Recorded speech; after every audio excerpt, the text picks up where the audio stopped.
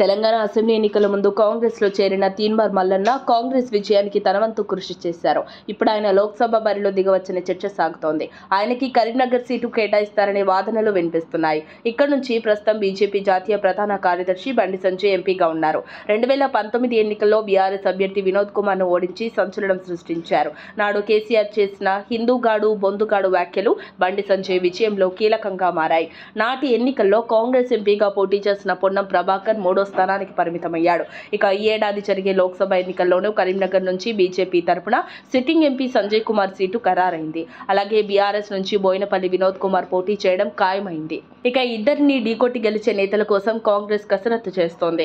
ఇక్కడ నుంచి వెలిచాల రాజేంద్రరావు మాజీ ఎమ్మెల్యే అలిగిరెడ్డి ప్రవీణ్ రెడ్డి పురుమల శ్రీనివాస్ టికెట్ ఆశిస్తున్నారు. అలిగిరెడ్డి ప్రవీణ్ రెడ్డి సీటు ఖరారైనట్టు వార్తలు వస్తున్నాయి.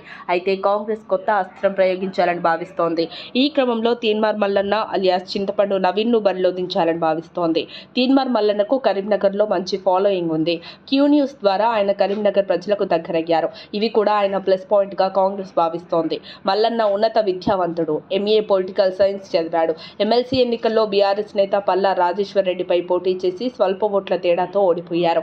గత అసెంబ్లీ ఎన్నికల్లో మేడ్చల్ అభ్యర్థిగా అసెంబ్లీ ఎన్నికల్లో పోటీ చేస్తారని భావించారు. కానీ టికెట్ దక్కలేదు. ఇప్పుడు కరీంనగర్ ఎంపీగా టికెట్ ఇస్తారని తెలుస్తోంది. దీనిపై క్లారిటీ రావాల్సి ఉంది.